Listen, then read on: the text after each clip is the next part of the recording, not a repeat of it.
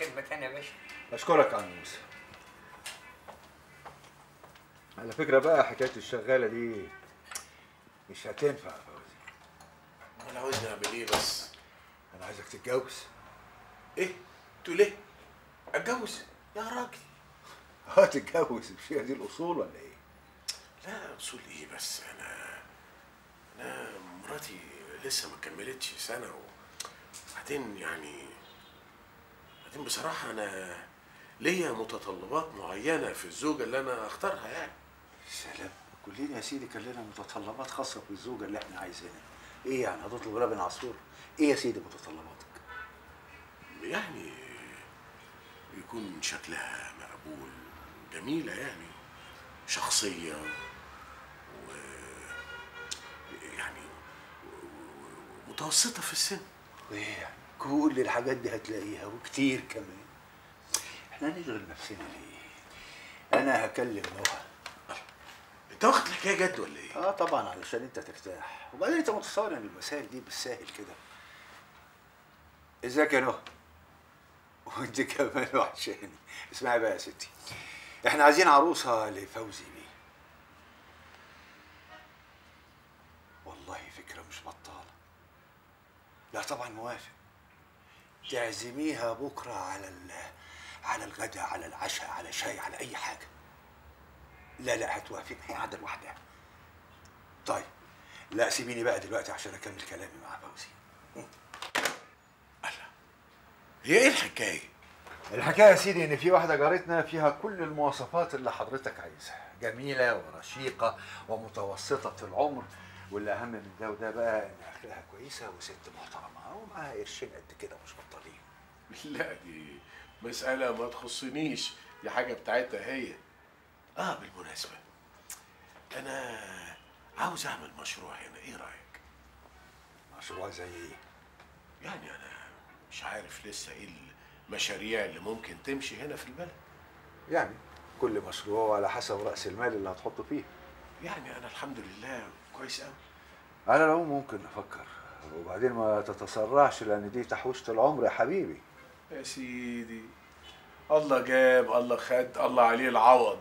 يعني أنا هخاف على إيه على الوريث يعني من بعدي. ليه التشاؤم ده يا فوزي يا راجل ده أنت هتبقى عريس قريب وبعدين لسه الدنيا حلوة. يعني هي حلوة في عينين اللي بيحبوها. طب يلا. قوم بينا علشان نعدي على مشروع جديد الشركة عاملاه.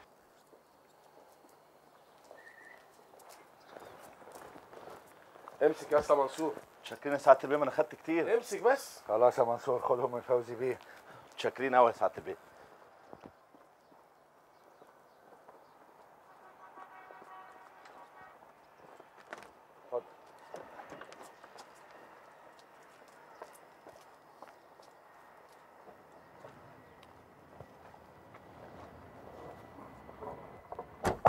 عندها 40 سنة ومخلفها ولدين.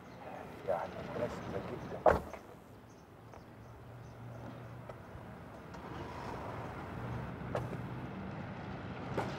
بالشكل ده يا باشمهندس مش هنقدر نسلم المشروع في الميعاد اللي متفقين عليه ودي مسؤوليتك والله بنشتغل يا فندم وردتين. طب شد حيلك. هو المشروع ده عبارة عن إيه بالظبط؟ ده يا سيدي مستشفى للأطفال مشترك فيه مجموعة كبيرة قوي من المستثمرين المصريين. وانت مشترك؟ آه طبعا. تحب تدخل معانا؟ قوي يا ريت. بتتكلم جد ولا بتهزر؟ طبعا. أمال أنا يعني بهزر في الكلام ده. اتفضل.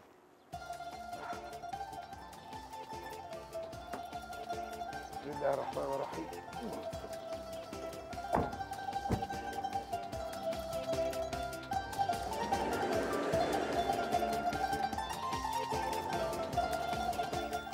دول للأستاذ خالد يشتري بيهم اللي هو عاوزه.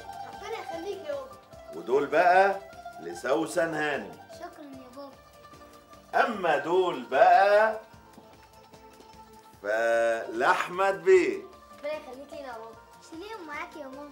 حاضر يا حبيبتي. وأنا دوري فين؟ أنت بقى يا سي عمر أنا بنفسي اللي هنزل أشتري لك كل اللي طلبته مني امبارح. بجد يا بابا؟ بجد يا سي عمر. يلا يا أولاد على مذاكرتكم. هو حد منكم يقول له دروس خصوصية؟ دروسي وأنا موجود؟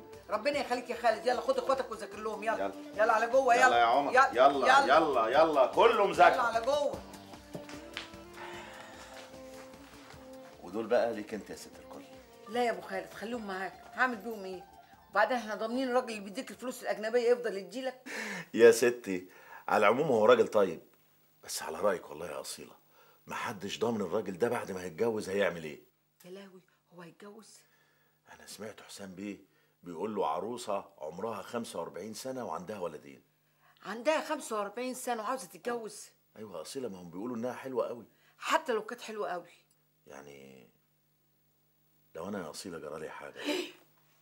فلا الله ولا فالك اوعى تكملها. بقول لك إيه عايزين نقضي الليلة حلوة. يا أصيلة هو في حد هيعيش العمر كله؟ أهي ناس بتوصل ناس. ونعم بالله. أنا ما قلتش حاجة بس ربنا يخليك ليا ويخليك لولادك. بنطلون وقميص وجزمة و- وشراب ومريالة وشنطة إيه يا أخويا اللي أنت بتكتبه ده؟ بكتب الحاجات اللي هشتريها. تشتريها؟ مبسوط يا عمر؟ أوي يا بابا وعاوز لما أشتريها أروح معاك الفيلا. فيلا؟ فيلا إيه اللي أنت هتروح. اشمعنى النهارده هتروح معاه الفيلا؟ ما أنا باخدك معايا. يلا يا ماما يلا يا ماما يلا يا ماما زي اللي قرص وتعبان عشان ايمن يشوفني بالهدوم الجديدة مش بالهدوم اللي انت جبتيها منه ماشي يا عم عمر. وأنا موافق اخدك معايا. أنا مش فاهمة إيه اخر دلعك في العيال ده. كل واحد يقول لك حاجة تقول له حاضر. إيه كنت يا ماما بس؟ واحد وبابا بيتفاهموا مع بعض. اللي زعلك بس. اما حاجة غريبة والله. حاجة غريبة والله؟ والله ما أنا سايباك. ماشي دي بتغير منك عشان أنا بحبك أكتر أنا بغير منك يا واد. طيب ماشي حاضر. إن ما وريتك. معلش يا اصيله سماح المرة دي عشان خاطر سامح يا أبو خالد عشان خاطرك. ماشي. تعالى أنا مش سايباك عشان أنا حلفت حلفت بالله. حلفت بالله. أهو. أهو. أهو. إيه رأيك في الأكل يا أستاذ فوزي؟ مش قادر أقول لك طعم قد إيه. وحضرتك يا مدام سارة لا ده أنا من كتر جماله قعدت آكل ما حسيتش بنفسي. ده هيستلزم مني مشي في النادي جامد قوي عشان أحرق اللي كلته الحقيقة كويس قوي يا مدام سارة إن حضرتك يعني مهتمة بالرشاقة وبالرياضة. طبعا لازم أهتم بالرياضة. ما أسيبش نفسي بقى كده أقعد آكل وأتخن وبعدين أدور على رجيم.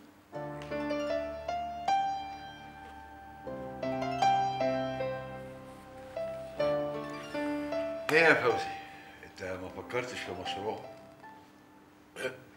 ال- الحقيقة لسه. مش أنا قايل لك تفكر لي. لا يفكر لوحده ما يصحش. مش كده ولا إيه يا ساره آه طبعا. حضرتك لازم تفكر في المشروع اللي أنت عايز تعمله. بعدين تعمله دراسة جدوى وبعدين تقرر تاخده ولا لا؟ ما شاء الله. آه الكلام الصح المظبوط. ما هي اصل مدام ساره سيدة أعمال. كويس. ما شاء الله. لا وناجحة جدا في شغلها. ما شاء الله. الله أكبر. الا إيه رايكم يا جماعة؟ أنتوا ما بتشاركوش بعض ليه؟ والله يا ريت أنا ما عنديش مانع. كده بسرعة؟ إحنا مش اتفقنا نفكر الأول ونعمل دراسة جدوى وبعدين نقرر؟ فاتتني دي.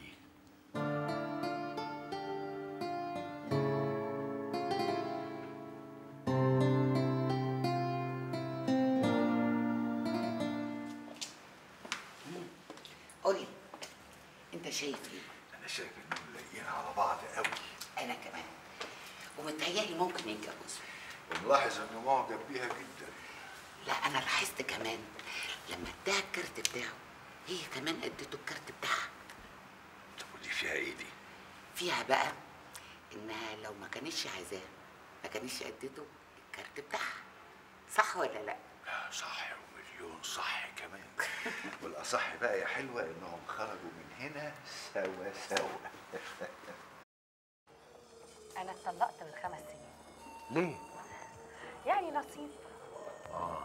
طيب والولاد؟ معاه.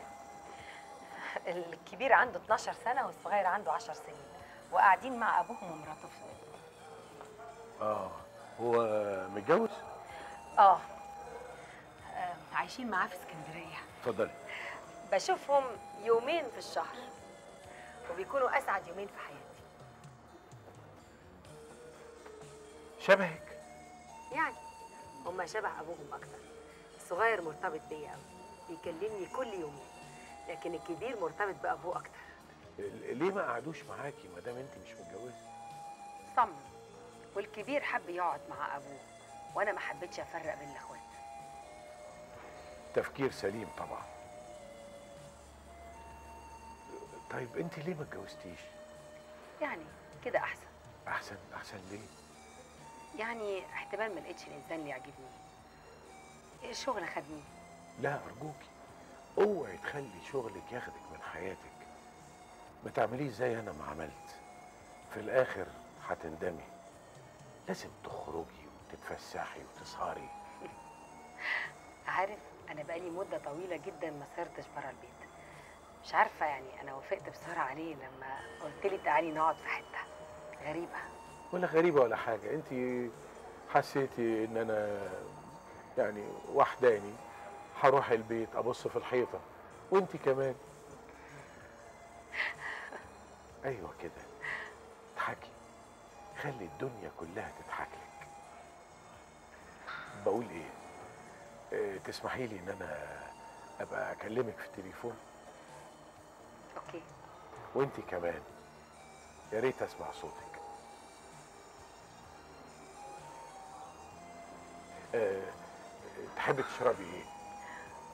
أي حاجة. اللي تطلب منه اطلب لي معاك.